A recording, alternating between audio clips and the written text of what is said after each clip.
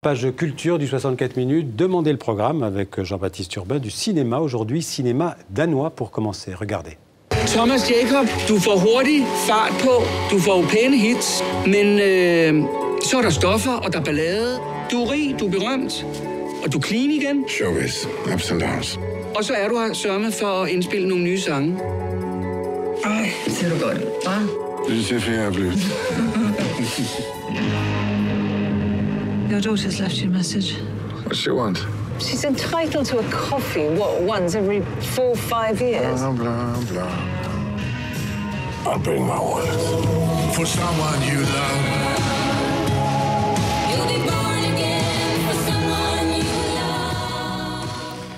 Alors on l'a dit, c'est un film danois, ça s'appelle euh, Someone You Love euh, et ça sort euh, en France mercredi et vous avez eu un coup de cœur. Bah oui, vous savez, le cinéma, le, Danemark, c'est un petit pays, mais qui fait beaucoup pour le cinéma. Il y a beaucoup de cinéastes, à commencer par Lars von Trier, Breaking the Waves ou encore Dancer in the Dark. Mais il y en a d'autres aussi depuis quelques années. Thomas Winterberg qui avait fait Festen, qui a fait également La Chasse avec Mats Mikkelsen, parce qu'il y a aussi des grands acteurs qui viennent de Scandinavie. Ici, euh, c'est une réalisatrice. Alors, je regarde mes feuilles parce que je me souviens pas et que nous, on est francophones, donc c'est un peu difficile de se souvenir des noms danois. Elle s'appelle Perny Fischer Christensen et avec Someone You Love, ce qui veut dire donc euh, quelqu'un que vous aimez. Ça raconte l'histoire, vous l'avez peut-être compris avec cet extrait de bande-annonce, d'une rockstar euh, qui est revenue un peu de l'alcool, de la drogue, qui vit à Los Angeles et qui repart au Danemark, qu'il a quitté pour enregistrer un disque. Et là, il va retrouver sa famille avec une fille qui, c'est pas vraiment l'amour euh, entre eux. Et puis, bah, petit à petit, une relation va naître avec son petit-fils. Ça pourrait paraître assez mièvre, raconté comme ça. Bah, pas du tout. C'est un super film. Magnifique mise en scène. Et puis, des acteurs. Alors, vous allez voir, il y a des espèces de face-à-face, des scènes avec euh, des affrontements euh, comme celui que je vous propose. Elle, elle s'appelle, je regarde à nouveau, Birgit Jord Sorensen. Lui, c'est Michael Perchbant. Moi, je lui trouve des petits faux airs de Michael Keaton. Regardez. Min mor er død, og jeg har ikke andre. Der var nogle ven eller nogle kompis.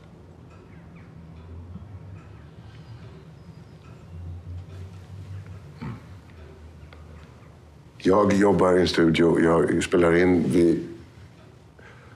Jag kan inte. Inte en chans.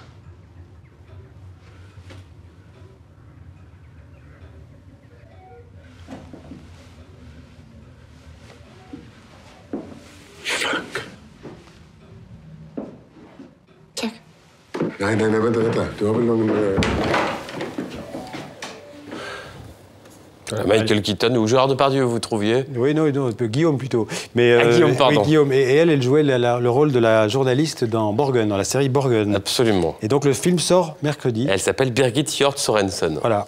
Et le film sort mercredi en France. Voilà, absolument. Alors, on va parler d'une euh, autre icône du cinéma arabe, cette fois, euh, la belle Faten Hamama, qui s'est éteinte aujourd'hui. Oui, euh, c'était vraiment la plus célèbre des actrices d'Égypte.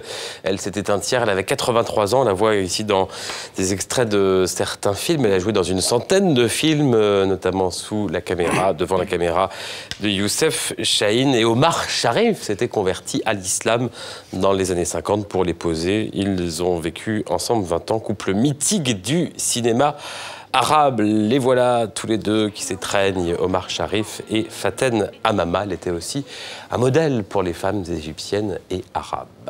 Alors, on va continuer à parler cinéma, mais cette fois-ci euh, comédie avec le festival de l'Alpe d'Huez en France. Il s'est achevé hier. C'est un festival qui a souvent le, le mérite de mettre, euh, comment dirais-je, d'annoncer les, les comédies qui vont marcher. Exactement. Par exemple, Bienvenue chez les Ch'tis, les Ch'tis en 2008, qui avait été présenté, qui a eu un grand succès à l'Alpe d'Huez quelques semaines avant son triomphe en France. Alors là, le palmarès, c'était hier soir. Prix du public pour Papa ou Maman, film signé Martin Bourboulon avec Marina Foïs et Laurent Lafitte, qui raconte le divorce de deux parents, sauf que aucun des deux ne veut la garde des enfants. Et puis le Grand Prix, lui, il revient à un autre film qui aborde un thème de société. Ça s'appelle Toute première fois, signé Noémie Saglio et Maxime Govard avec Pio Marmaille, qui est juste à droite ici. C'est l'histoire d'un couple de garçons qui s'apprête à se marier, comme c'est possible en France depuis plus d'un an, sauf que bah, l'un des deux tombe amoureux d'une femme, Sissi. Alors qu'est-ce que ça donne en image? Extrait de la bande-annonce, Xavier. Tu cherches ta culotte? Oui C'est dans la cuisine. Par contre, le pull là contre ton bite, c'est à moi. Je m'appelle Jérémy Després, j'ai 34 ans, et cette nuit, pour la première fois de ma vie, j'ai fait l'amour avec une femme. Le bolide. T'as jamais eu envie de sortir avec autre chose que des mannequins et cervelés Je me suis permis de répondre à une certaine Katinka. Katinka, tu lui as dit quoi? De se trouver un prénom qui fasse moins pute. Elle est folle ou pas, elle? Elle a un fait pour toi. Voilà. Samedi soir, j'ai. J'ai couché avec une femme. T'es con, toi. La dernière fois, je suis parti un peu vite. Du coup, je voulais me- m'excuser. Ah d'accord, ta femme était pas trop fâchée Non, mais moi, tu sais, moi, j'ai pas de femme. C'est quand elle me regarde avec ses yeux, je suis. Il y a tout qui part en vrille. Mais je vais pas faire ça, Antoine. On a décidé de se marier. Ça remet en cause toute ma vie. Mais moi aussi, mon vieux, c'est pas du tout mon style, Clémence. Prends tes tickets resto, à l'âge. C'est comme si toute ta vie, t'avais été fan de l'OM, et puis un jour, tu te rends compte que tu préfères le PSG, quoi. Antoine, t'es le seul homme qu'il y a dans ma vie. Au courant que t'es en train de faire absolument n'importe quoi, là J'ai rencontré quelqu'un. Attendez là-dessus, t'es gratiné, hein. C'est qui, ce connard, là? C'est une femme. Mais t'es pédé, mon chéri Voilà, ça vous tente Bah, ça a ça a l'air pas mal. Ça a en France, toute ça a l'air première assez drôle. fois. Vaut mieux en rire de toute façon. Peut-être la prochaine grande comédie après, euh, enfin, le prochain grand succès après La famille Bélier qui vient de dépasser les 4 millions d'entrées. Oui, je crois que ce sera mieux que la famille Bélier. Je vous laisse la responsabilité de vos propos. Merci Jean-Baptiste, à bientôt.